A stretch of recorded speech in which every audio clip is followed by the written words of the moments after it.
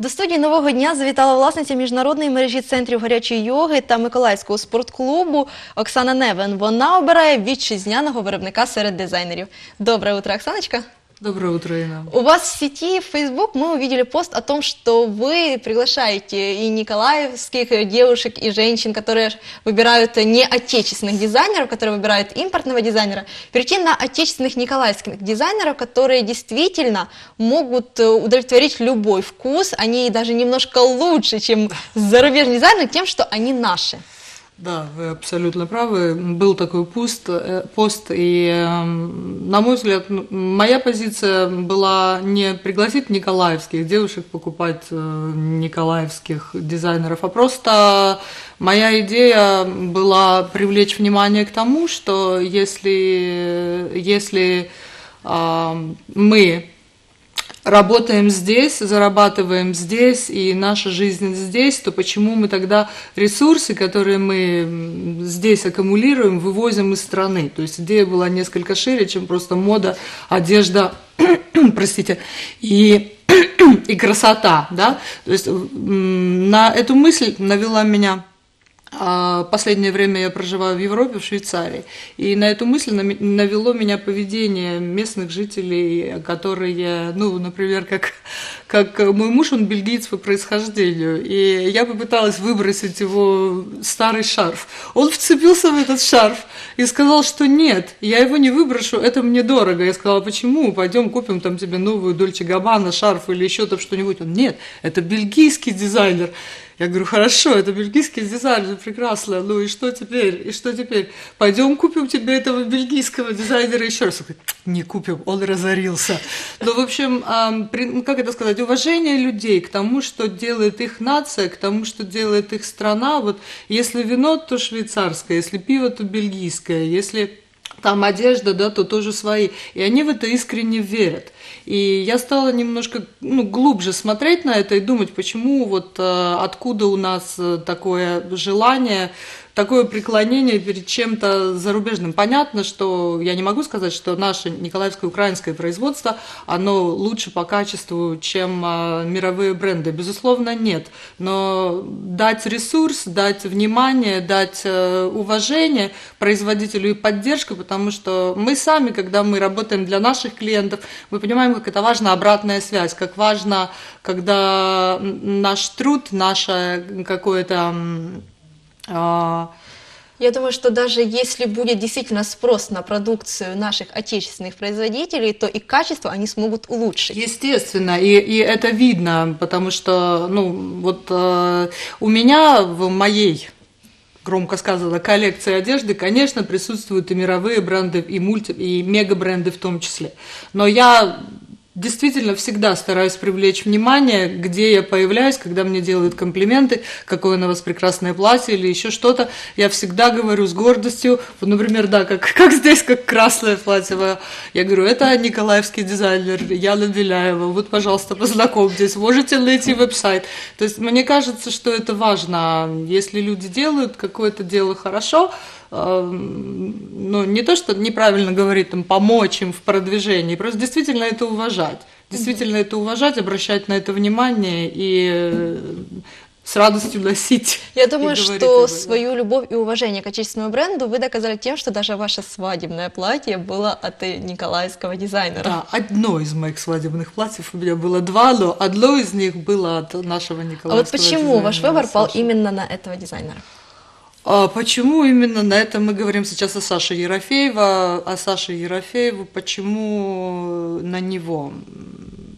Потому что он очень хороший специалист, он прекрасный специалист, он прекрасный дизайнер, он, у, него, у него безупречный стиль, у него понимание моды, но самое важное, что в нем есть, это понимание человека. Он действительно работает для тебя, для твоей личности, он понимает твои ценности, понимает, чего ты хочешь, и, можешь, и может это удовлетворить. И я могу сказать, что его ну, личностные качества и качества как, как специалиста своего дела, ну, высочайшую оценку я ему могу дать, высочайшую. Ну, вот с точки зрения уже моего, скажем так, не очень сильно избалована, но все-таки уже немножко повидавшего виды вкуса. Он прекрасный специалист, я очень его люблю. Многие люди выбирают именно мировые бренды, самые известные бренды в гонитве за модой. Они считают, что раз это мировой бренд, это сто процентов будет модно. А что может предложить николаевский дизайнер? Хотелось бы сейчас из ваших уст развенчать этот миф. Я могу предположить, что люди выбирают мега-бренды, такие как Шанель, такие как а, ну, все знают Дольче Гавана, Армани и все остальное, скорее подчеркнуть свой статус. Нисколько, безусловно, эти, эти бренды, они обладают высочайшими технологиями, высочайшим качеством и вкусом и всем остальным. Но, вы знаете, вот когда я покупала платье Дольче Габбана, я поняла, что их жизнь, жизнь владельцев этого бренда от моей инвестиции никак не улучшается. Абсолютно. То есть, когда я инвестирую в их и без того безупречную жизнь, еще свою очередную тысячу евро, я понимаю, что их жизнь абсолютно никак не улучшается. А когда я инвестирую, причем, заметьте, гораздо меньшую вот, сумму бы сделать в жизнь наших, да, в жизнь людей, которые здесь у нас, которые работают и кормят свои семьи, я понимаю, что я получу. То есть, инвестируя это же тоже мой труд, я тоже зарабатываю эти деньги, здесь тяжело, тяжелым трудом, и зачем я буду свой ресурс вывозить куда-то, туда, где и так прекрасно, им не, им не нужно, им не нужно. Понятно, что, безусловно, можно подчеркнуть локальный образ часами Кортье, да, можно, но но не нужно. Это не всегда это важно. Если говорить, если, если же говорить о моде, то модной можно выглядеть. Э, мода это что? Это цвет, форма, это какая-то идея. И на сегодняшний день мне кажется, что ну, это мое субъективное мнение, что мода становится очень демократичной, и она тоже вот становится локальной, во-первых, э, то есть э, она как бы транслирует э, личностный уровень развития и культурный уровень развития определенной группы людей, наций или, или еще чего-то. То есть, например, вот в европейских странах, где я сейчас в основном живу, мне уже сложно, мне уже сложно накраситься, я не ношу каблуки, а потому что мода – это комфорт – Прежде всего, женщина заботится о том, насколько ей комфортно, насколько ей удобно. И к, этим, и к этому запросу, к этим ценностям э, уже и дизайнеры под, подтянулись. Когда я путешествовала в Японии, там интересно, там у них такой культурный, культурный тренд – это девочка-ребенок – девочка-ребенок, девочка всегда, женщ, э, женщина-ребенок, женщина всегда должна быть девочкой, всегда говорить таким девчачьим голосом, всегда вести себя соответственно. И когда я зашла в магазины ведущих мировых брендов, таких как там Дольче Габбана, например, я увидела, что Дольче Габбана для Италии это один Дольче Габбана, Дольче Габбана для Японии совсем другой. Это воротнички, это завязочки, закрытые плечики, очень короткие юбки, вот то, что обычно девочки-девочки у нас носят 6-7 лет, это юбочка, фонарик, рукавчик, бантик на шее.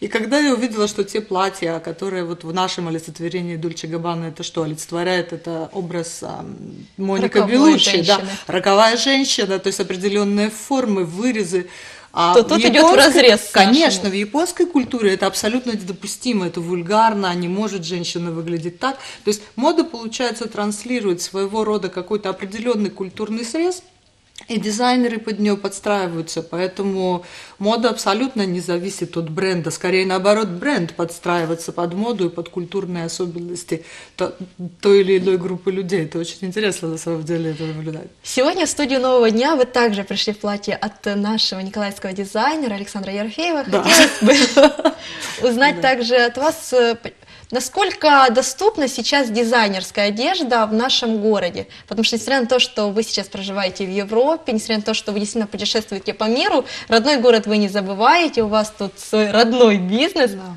Хотелось бы узнать, насколько доступно у нас в Николаеве красиво и статусно одеваться. А доступно вы имеете в виду вопрос э, цены или э, вопрос возможности? Возможности найти хорошего дизайнера. Ой, возможности быть э, самой модной в мире девушкой у нас более чем достаточно, потому что, безусловно, если, вы, если у вас есть какая-то своя, вот почему, почему к Саше Ерофееву, да.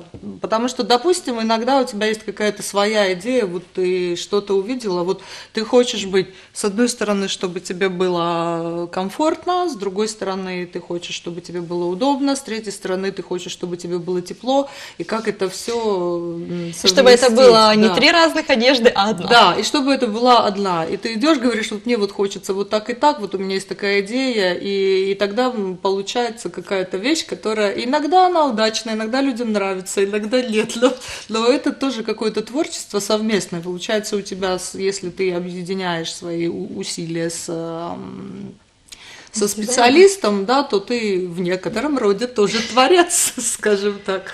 Вот, вот, например, как платья вот эти для, для моей свадьбы, это вот э, наш совместный с ним э, творческий поиск, потому что нужно было, чтобы девушки разных возрастов, разного роста, разного, разной комплекции, и все выглядели потрясающе красиво, чтобы они потом не бегали за мной, не просили, удали фотографию, я здесь некрасивая, или еще там что-то. Ну вот, и мне кажется, на наш взгляд, прекрасно получилось, вот настолько настолько все разные. И... Это как раз тот случай, когда эксперимент удался. Да, это тот случай, когда эксперимент удался. А с точки зрения как ну вот, допустим, если с точки зрения молодежной моды, когда у тебя своей какой-то идеи нет, а ты ищешь, э, а ты ищешь э, что? Что, как выделиться, как, как быть себя. индивидуальным, то тогда вот моя рекомендация это может быть, это Яна Беляева, это прекрасный просто э, такой а, творческий человек, и э, идеи ее, они действительно европейские, то есть это европейские идеи, это и свобода, и комфорт, и в то же время потрясающая женственность, и качество кроя, качество лекал. То есть здесь э, больш, очень большой выбор идей. И потом еще вот, если говорить о комфорте, то это honey and blood, трикотаж. То есть такие потрясающие идеи. Вот мне кажется, что вот, ну, эта дизайнер, она харьковчанка, но она имеет также свой магазин в Нью-Йорке, и она пользуется уже заслуженной международной популярностью. И мне кажется, вот я когда в этом жакете иду, у себя там гуляю где-то вокруг озера, на набережной, да, люди все для меня, а, бегут и что-то показывают, и мне прям хочется сказать, да-да-да, а если у меня спрашивают, то где ты взяла такой жакет? Все ждут, что это какое-то там будет, какое-то там а будет это наш имя. украинский дизайнер. Да, и я с гордостью говорю, где, потому что это действительно идея, это что-то особенное, это, это, эти вещи имеют характер, они имеют душу какую-то, и, ну, это важно. Это Спасибо вам большое за то, что действительно продвигаете идею того, что нужно поддерживать своих отечественных производителей. Действительно, это не помощь, это поддержка, потому что если мы их поддержим, то действительно инфраструктура в нашей стране будет развиваться. Да, поддерживать, а, на мой взгляд, не очень правильное слово, потому что поддерживать мы должны то, что загибается, да, то есть поддержка это когда что-то слабое, оно загибается, и мы поддерживаем. Ни в коем случае это не поддержка, это своего рода вот правильный фокус, это угу. уважение, это действительно реальная оценка. То есть это оценка по заслугам на самом деле. Вернуть свое внимание туда, куда нужно, и заслуженно, заслуженно ценить то, що ми вже имеем. Вот що важно. Спасибо вам большое. Я нагадую нашим телеглядачам, що до студії нового дня сьогодні завітала власниця міжнародної мережі центрів гарячої йоги та Миколаївського спортклубу Оксана Невен. Вона обирає вітчизняного виробника.